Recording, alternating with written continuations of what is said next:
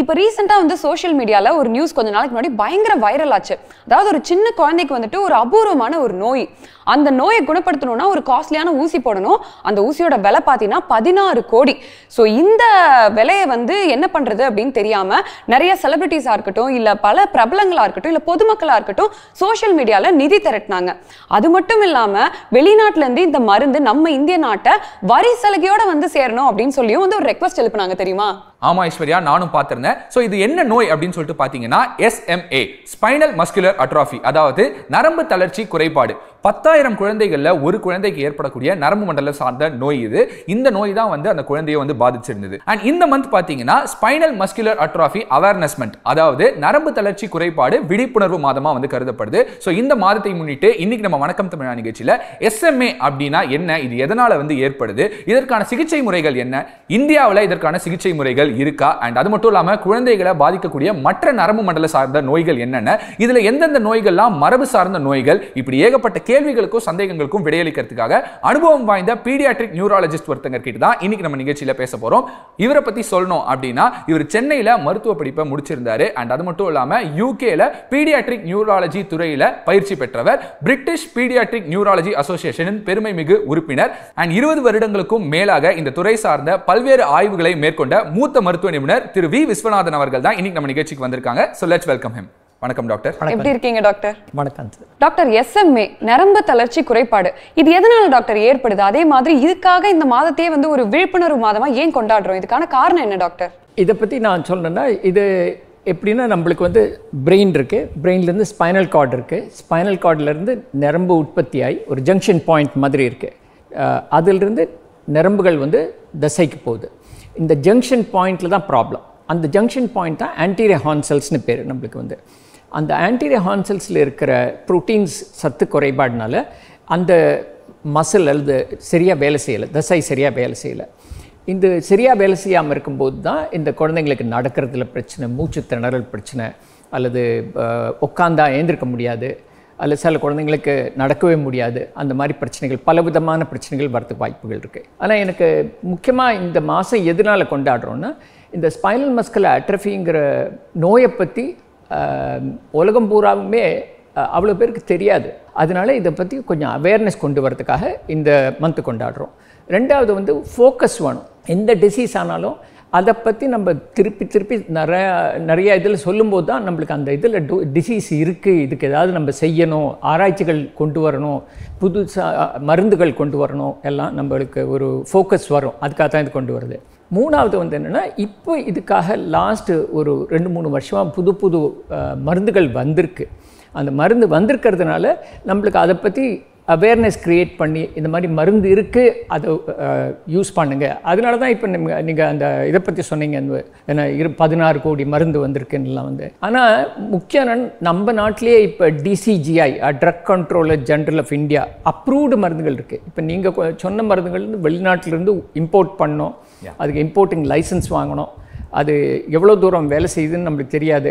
But முக்கியம் வந்து நம்ம ஊர்லேயே இப்போ மருந்துகள் வந்திருக்கு அவைலபிளாக இருக்குது அவ்வளோ அத்தனை கோடி காசு ஆகிறது இல்லை இந்த எஸ்எம்ஏ முதுகெலும்பு நரம்பு நார் வலுவிழப்பு நோய்கள்ல வந்து பல வகைகள் இருக்கு அப்படின்னு சொல்லிட்டு கேள்விப்படுறோம். ஸோ இந்த வகைகள் பத்தின ஒரு தெளிவான எக்ஸ்பிளனேஷன் கொடுங்க டாக்டர் இதில் எப்படின்னா டைப் ஜீரோன்னு சொல்லுவோம். டைப் ஜீரோன்னா வயிற்றுக்குள்ளே இருக்கும்போதே அம்மாவோட வயிற்றுக்குள்ளே குழந்தை இருக்கும்போதே சரியான மூமெண்ட் இருக்காது அந்த குழந்தைங்களுக்கு. அது சுற்றிட்டே இருக்கும் இல்லைங்களா வயிற்றுக்குள்ளே அந்த மாதிரி இது குறைவாக இருக்கும். கிக் கவுண்ட்டும்பாங்க அந்த குழந்தைங்க வயிற்றுக்குள்ளே கிக் பண்ணுறது அவ்வளோ இருக்காது. ஏன்னா அந்த குழந்தைங்க அப்போவே வீக்காக இருக்கும். பிறந்த உடனே சரியாக அழாது. அதனால முதல்லயே நம்மளுக்கு டியூப் போட்டு வென்டிலேட் பண்ணி அந்த குழந்தைங்கள இன்டிபேட் பண்ணி ஐசியூவில் வைக்க வேண்டிய நிலைமை வருது. ரெண்டாவது வகையானதுன்னா இந்த குழந்தைங்க பிறக்கும்போது நல்லா இருக்கும். பட் ஒரு மூணு மாதம் ஆறு மாதம் எட்டு மாதம் ஆகும்போது அந்த தலை நிற்க மாட்டேங்குது உட்கார மாட்டேங்குது குழந்தை திரும்ப மாட்டேங்குது சரியா? அல்லது மூச்சு திணறல் ஏற்படுத்துது. அந்த மாதிரி பிரச்சனைகள் இருக்கும். அந்த குழந்தைங்க வந்து ப்ரொக்ரெசிவாக என்ன ஆகுதுன்னா வீக் ஆகிட்டே போகுது. பர்டிகுலர்லி மூச்சு திணறல் அதிகமாக ஏற்படுறது. மூச்சு திணறல் ஏற்படும்போது ஒரு பதினாறு பதினெட்டு ஒரு வயசு ரெண்டு வயசு இந்த- அந்த மாதிரி வயசு ஆகும்போது அந்த குழந்தைங்களுக்கு மூச்சு திணறல்னால மேற்கொண்டு உயிருக்கு பாதிப்பு வருது. டைப் டூங்கிறது என்னென்னா அந்த குழந்தைங்களுக்கு வந்து உட்காடுறாங்க கொஞ்சம் லேட்டாக உட்காருவாங்க. நார்மல் குழந்தைகளோட ஆறு மாதத்தில் இருக்காது எட்டு மாதத்தில் இருக்கலாம் ஒரு வயசில் இருக்கலாம். பட் உட்காருவாங்க பட் அவங்களால நடக்க முடியறதில்ல. அவங்க அதனால வீல் சேர்லேயே உட்காந்துருக்க வேண்டியிருக்கு. அப்புறம் கொஞ்ச நாள் பொறுத்து என்ன ஆகுதுன்னா ஸ்பைன் பெண்ட் ஆயிட்டு ஒரு பக்கமாக சரிஞ்சு போய்டுறது. ஏன்னா அவங்களால நேராக உட்கார்றது கஷ்டமாக இருக்குது அந்த மாதிரி குழந்தைங்களுக்கு டைப் டூங்கிறோம் வந்து. டைப் த்ரீ எஸ்எம்ஏங்கிற குழந்தைங்க வந்து உட்கார்றாங்க பட் நடக்கும்போது கூட அவங்களால ஸ்டெடியாக நடக்க முடியல. ஒரு ஆடி ஆடி நடக்கிறாங்க.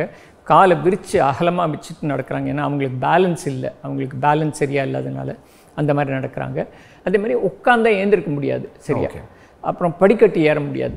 ஸ்டெப்ஸில் கிளைம் பண்ணுறது கஷ்டமாக இருக்குது அந்த குழந்தைங்களுக்கு டைப் த்ரீ எஸ்எம்ஏங்கிறோம் கொஞ்சம் கூட வயசானவங்களுக்கு ஐ மீன் அடல்ட்ஸுக்கு வர்றது வந்து டைப் ஃபோர் எஸ்எம்ஏன்னு சொல்கிறோம் வந்து அது வந்து ரொம்ப கொஞ்சம் கூட மைல்டர் பட் அவங்களுக்கும் உட்காந்தா எழுந்திருக்கிறது கஷ்டமாக இருக்குது நடக்கிறதுல கஷ்டமாக இருக்குது தன்னை கவனிச்சிட்டு இருக்கிறது கஷ்டமாக இருக்குது ஃபார் எக்ஸாம்பிள் கையை தூக்கி தலை சீவுறதோ இல்லைன்னா ஆக்டிவிட்டீஸ் ஆஃப் டெய்லி லிவிங் ஏடிஎல்ஸ்னு சொல்லுவோம்.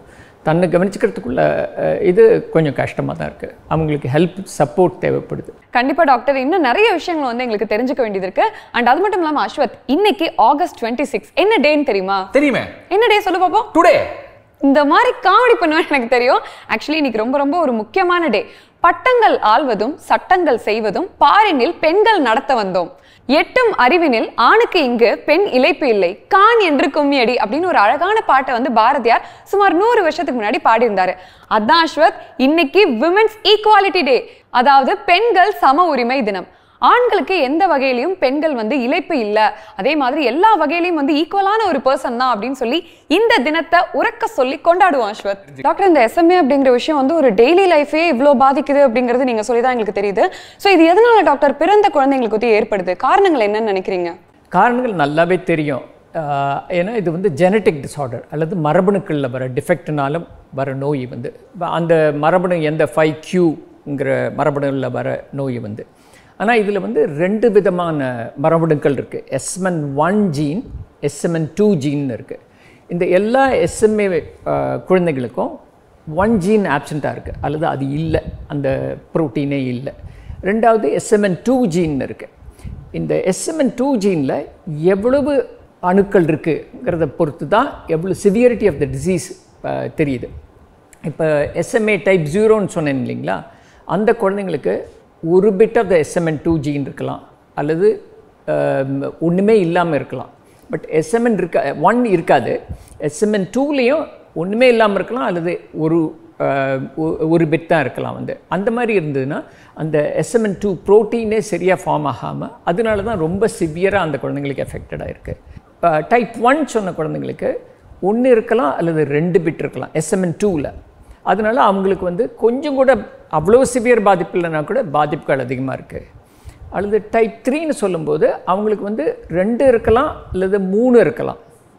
புரிஞ்சது இல்லைங்களா? அதனால கொஞ்சம் கூட மைல்டர் டிசீஸாக இருக்குது டைப் ஃபோருங்கிறவங்களுக்கு வந்து மூணு அல்லது நாலு இருக்குது அதனால் அவங்களுக்கு இன்னும் கொஞ்சம் மைல்டராக இருக்குது இது வந்து இது எதுக்காக தெரிஞ்சுக்கணும்னு கேட்டிங்கன்னா ட்ரீட்மெண்ட் நம்ம அதை பற்றி வரும்போது நான் உங்களுக்கு கிளியராக விளக்கமாக சொல்கிறேன் ஏன்னா அது ரொம்ப முக்கியம். அண்ட் டாக்டர் நாங்கள் ரீசெண்டாக வந்து இப்போ தான் வந்து நாங்களுமே வந்து கேள்விப்படுறோம் இந்த முதுகெலும்பு நரம்பு நார் வலுவிழப்பு பற்றியே ஸோ வந்து இந்தியாவில் எஸ்எம்ஏவோட பாதிப்பு எந்த அளவுக்கு இருக்கு? அண்ட் அதற்கான சிகிச்சை முறைகள் நம்மளுக்கு கிட்ட இருக்கா டாக்டர் ரொம்ப நல்ல கேள்வி. ஏன்னா இதுதான் பெரிய பிரச்சனையே நம்ம ஊரில் வந்து. நம்பர்ஸ் இல்லை. எத்தனை குழந்தைங்களுக்கு எஃபெக்டட்னு சொல்லிட்டு. என்ன மாதிரி நரம்பியல் நிபுணர்கள் நிறைய கேஸ் பார்க்குறோம். டெய்லியே கேசஸ் பார்க்குறோம். பட் நம்பர்ஸ் ரொம்ப இல்லை. அதுக்காக தான் இந்தியன் கவுன்சில் ஆஃப் மெடிக்கல் ரிசர்ச்சோடு சேர்ந்து நேஷ்னல் ரெஜிஸ்ட்ரி ஸ்டார்ட் பண்ணிருக்கோம் ஃபார் ஸ்பைனல் மஸ்குலர் ஆட்ரஃபி அதை தவிர Duchenne muscular dystrophy and limb girdle muscular dystrophy இந்த uh, மூணு டிஸார்டருக்கும் நேஷ்னல் ரெஜிஸ்ட்ரி ஸ்டார்ட் பண்ணிருக்கோம் ரெஜிஸ்ட்ரின்னு சொன்னால் என்னென்னா எத்தனை குழந்தைகள் இருக்காங்க? எல்லா குழந்தைங்களுக்கும் அந்த ஜெனட்டிக் டெஸ்டிங் வரும்போது அதை வந்து ஒரே வெப்சைட்டில் நம்ம வந்து இந்த குழந்தைங்களுக்கு இந்த டிஃபெக்ட் இருக்குன்னு சொல்லிட்டு அதை ரெஜிஸ்டர் பண்ணோம் அது வந்து நாலு இந்தியாவை நாலு பாகமாக டிவைட் பண்ணிட்டு north south east western divide பண்ணிட்டு அதிலிருந்து நாங்கள் எல்லாமே நோடல் சென்டர்ஸ்னு முடிவு பண்ணிட்டு அதிலிருந்து ஒரு நாற்பத்தொம்போது பெரிஃபரல் சென்டர்ஸ் இன்க்ளூட் பண்ணி ஸோ தட் நம்ம நேஷ்னல் லெவலில் எத்தனை குழந்தைங்களுக்கு இந்தந்த நோய்கள் இருக்குது எத்தனை குழந்தைங்களுக்கு இந்த எந்த விதமான ஜீன் ப்ராப்ளம் இருக்குது ஏன்னா அதெல்லாம் தெரிஞ்சாதான் நம்மளுக்கு ட்ரீட்மெண்ட் பற்றி பேச முடியும். இப்போ நம்மளுக்கு தெரிஞ்சது எல்லாமே அமெரிக்காவில் எவ்வளோ இருக்குது யூரோப்பில் எவ்வளோ இருக்குங்கிறது. பட் நம்ம நாட்டில் எவ்வளோ இருக்குங்கிறது தெரியணும். அப்போ தான் நம்மளுக்கு இது எவ்வளோ பெரிய நோயின்னு எவ்வளோ பெரிய பிரச்சனைன்னு நம்மளுக்கு தெரியும். டாக்டர் இப்ப நரம்புநார் வலுவிழப்பு இந்த நோயால பாதிக்கப்பட்ட குழந்தைங்களுக்கு வந்துட்டு புனர்வாழ்வு அதாவது ரீஹாப்ஸ் அதை பத்தி சொல்லுங்க டாக்டர். நிறையா ஹெல்ப் தேவை இந்த குழந்தைங்களுக்கு. இப்போ நாங்கள் வந்துட்டு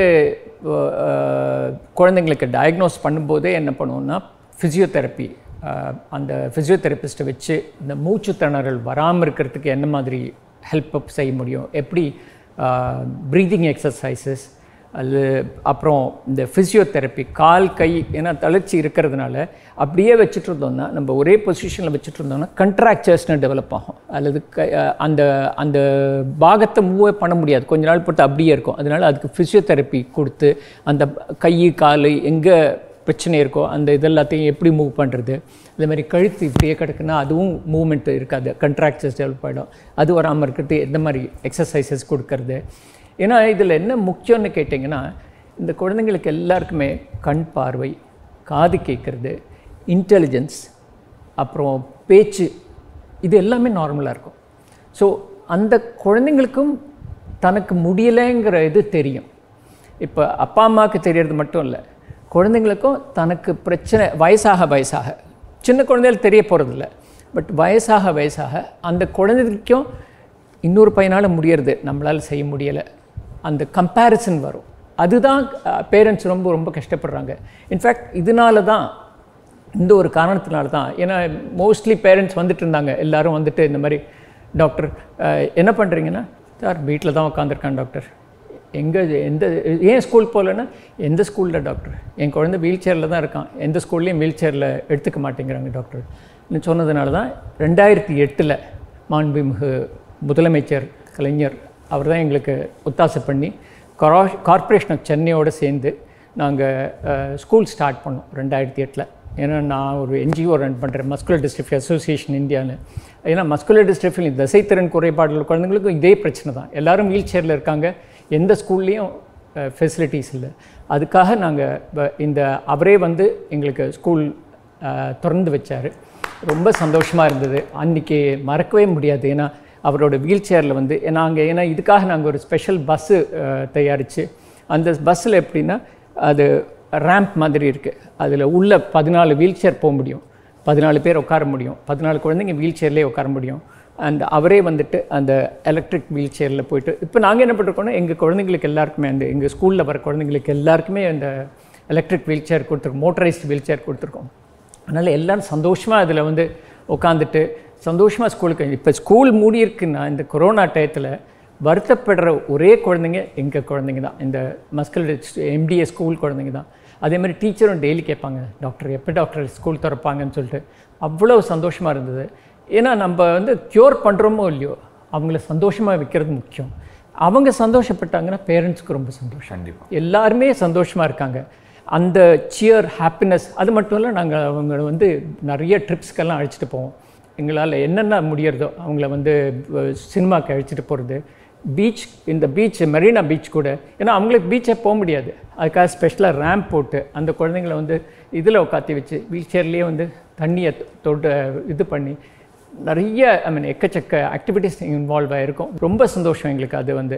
ஸோ அந்த psychological wellbeing is important physical wellbeing is important அது மாதிரி மூச்சு திணறல் வராமல் இருக்கிறதுக்கு அதுக்கு பயிற்சி கொடுக்கணும்.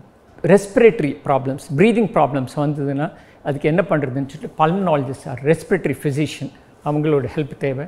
அதே மாதிரி இந்த ஸ்பைனல் கார்ட் பெண்டிங் வந்துகிட்டே இருக்குன்னா அந்த பெண்டிங் வந்ததுன்னா ஆர்த்தோபெடிக் சர்ஜனை வச்சு ஒரு ராட் மாதிரி போட்டு அது ஸ்ட்ரைட்டன் பண்ண முடியும்.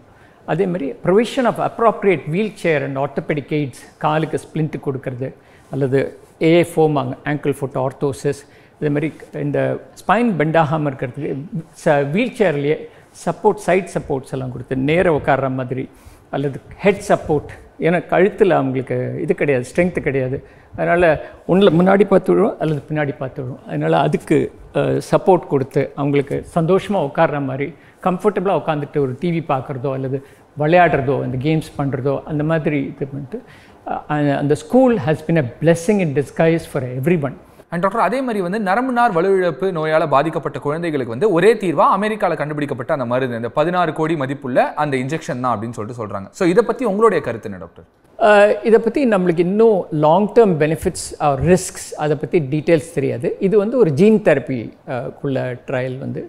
ரெண்டாவது ட்ரீட்மெண்ட் வந்து இது ஸ்பைனல் கார்டில் இன்ஜெக்ஷன்ஸ் கொடுக்கறத பற்றி அது வந்து மொத நாலு வாரத்துக்கு வீக்லி கொடுத்துட்டு அதுக்கு பிறகு நாலு மாதத்துக்கு ஒரு தடவை இன்ஜெக்ஷன் கொடுக்கணும். ஓகே மூணாவது ட்ரீட்மெண்ட் வந்து ரிஸ்டிப்ளாம்னு ஓரல் ட்ரக் அது வந்து லிக்விட் ப்ரிப்ரேஷன் வாயில் கொடுக்குற மாதிரி.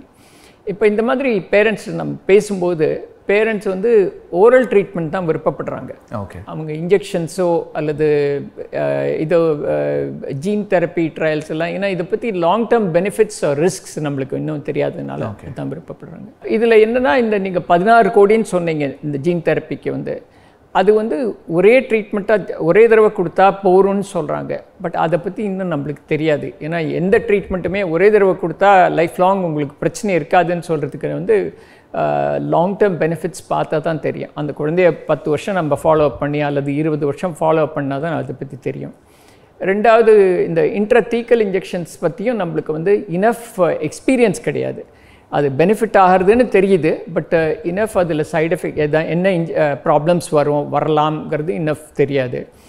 இந்த மூணாவது ஓரல் மெடிசின் வந்து அட்லீஸ்ட் நம்மளுக்கு வீட்டில் கொடுக்க முடியாது ஹாஸ்பிட்டல் அட்மிஷன்ஸ் தேவையில்லை. Whether is first second first and second நான் சொன்னது வந்து ஹாஸ்பிட்டல் அட்மிஷன்ஸ் தேவைப்படுது. காஸ்ட் வந்து இப்போ இந்த um, ரெண்டாவது ட்ரீட்மெண்ட் நான் சொன்னேன் இல்லைங்க இன்ட்ரதீக்கல் இன்ஜெக்ஷன்ஸ் வந்து. இந்த மெடிசின் காஸ்ட்டும் அதிகம் தான் அது எக்ஸாக்ட் காஸ்ட் தெரியாது நம்மளுக்கு. ஓகே பட் அதை தவிர ஹாஸ்பிட்டல் அட்மிஷன்ஸ் ஒவ்வொரு தடவையும் இன்ஜெக்ஷன் கொடுக்கறதுக்கு ஹாஸ்பிட்டல் அட்மிஷன் தேவை. இந்த மூணாவது ட்ரீட்மெண்ட் நான் வந்து இந்த ரிஸ்டிப்ளாம்ங்கிற மருந்து வந்து வீட்டில் கொடுக்க முடியும். அதனால் இந்த ஹாஸ்பிட்டலைசேஷன் காஸ்ட் குறையுது. அதுவும் எக்ஸ்பென்சிவ் தான். பட் ஒரு பத்து கிலோ குழந்தைங்க இன்ஜெக்ஷன் கொடுக்க ஐ மீன் ஓரல் மெடிசன் கொடுக்கணும்னா ஒரு வருஷத்துக்கு உங்களுக்கு மேபி ஒரு அஞ்சு லட்சம் பத்து லட்சத்துக்குள்ளால அடங்கும். வெரஸ் நீங்கள் பதினாறு கோடியும் பத்து லட்சமும் வித்தியாசம் உங்களுக்கு தெரியுது இல்லைங்களா? அதனால கொஞ்சம் இது ப்ரிஃபரபிளாக இருக்குது அண்ட் இது ஆல்சோ இஸ் டிசிஜி அப்ரூவ்டு இந்தியாவில் அப்ரூவல் வந்த மருந்து. பதினாறு கோடி ரூ ரூபாய் உள்ள மதிப்புள்ள அந்த மருந்தை பற்றி நம்ம சொன்னோம். அது வந்து ஆக்சுவலாக இப்போதைக்கு ரெண்டு வயசுக்கு கீழே இருக்கிற குழந்தைங்களுக்கு தான் அது அப்ரூவ்டாக இருக்குது இந்த இந்த ரிஸ்டிப்ளாம்ங்கிற மருந்து இப்போ எல்லா ஏஜ் குரூப்புக்கும் அப்ரூவ் ஆகிருக்கு இந்தியாவில் வந்து டிசிஜிஐ அப்ரூவல் வந்து. ஸோ அது ஒரு சின்ன அட்வான்டேஜ் நம்மளுக்கு வந்து. ஏன்னா இப்போது வயதானவர்களுக்கும் இந்த மருந்து யூஸ் பண்ண முடியும் oral medicine and it's available over the counter so நம்ம வாங்கி அதை கொடுக்கறதுக்குள்ள இது இருக்குது பெனிஃபிட்ஸ் இருக்குது டாக்டர் இந்த நோய் வந்து ஒரு குழந்தை கருவில் இருக்கும்போதே வந்து கண்டறியறதுக்கு ஏதாவது ஸ்க்ரீனிங் முறைகள் இருக்கா டாக்டர்?